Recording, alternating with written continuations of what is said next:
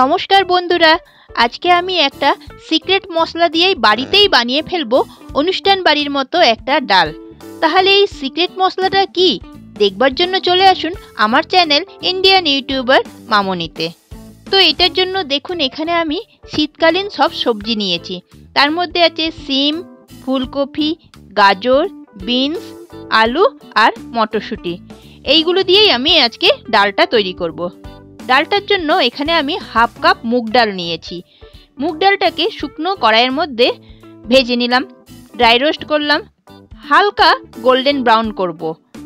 বেশি কিন্তু ভাজবো না, বেশি ভাজলে কিন্তু ডালটা সেদ্ধ হবে না। তারপরে ডালটাকে একদিকে সেদ্ধ দিয়ে দিলাম, আর এদিকে সিক্রেট মশলাটা বানাচ্ছি।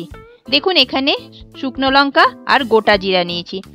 এইগুলোকে ড্রাই রোস্ট করে আমি গুঁড়ো করে নেব। এটাই হচ্ছে আমার সিক্রেট মশলা। তারপর এদিকে কড়াই বসিয়ে তেল দিয়ে দিয়েছি। সর্ষের তেলের মধ্যে আমি সব সবজিগুলোকে ভেজে নিচ্ছি। যার মধ্যে ফুলকপি, গাজর, বিনস, সিম, আলু। মটরশুঁটিটা কিন্তু আমি এখন অ্যাড করব না। এই সবজিগুলোকে আমি দিয়ে হালকা করে আমি প্রথমে ভেজে নেব। এখন আমি এই সবজিটার মধ্যে একটুখানি নুন দিচ্ছি। আর নুনটা পরে আমি দেব। এবার নুন দেওয়াতে একটু করে ভেজে নিলাম, এরপর মটরশুঁটিটাও অ্যাড করে দিলাম। এখন আমি এগুলোকে হালকা করে ভেজে তুলে রাখলাম। বন্ধুরা, আমার এই ভিডিওটা আপনাদের কাছে দেখবেন খুব ভালো লাগবে। আর ভালো লাগলে একটা করে লাইক কমেন্ট শেয়ার নিশ্চয়ই করে করে দেবেন।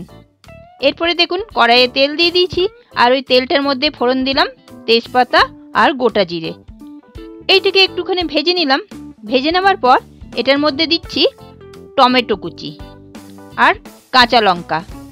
এবার টমেটো আর কাঁচা লঙ্কাটাকেও একটু ভেজে নিচ্ছি আর যাতে তাড়াতাড়ি গলে যায়, নুন দিয়ে দিলাম, হলুদ দিলাম, ভালোভাবে এটাকে গলিয়ে নিলাম।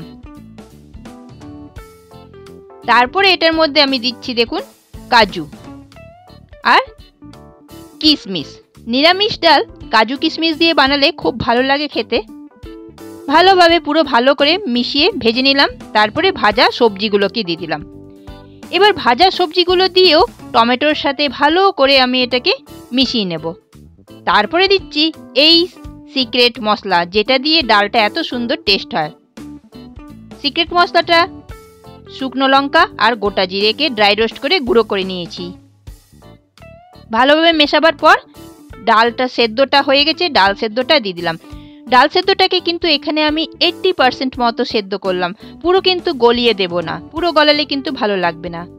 দেখুন, ডালটা কিন্তু ঘন রয়েছে, তাই একটু সামান্য পরিমাণ আমি এটার মধ্যে জল দিলাম।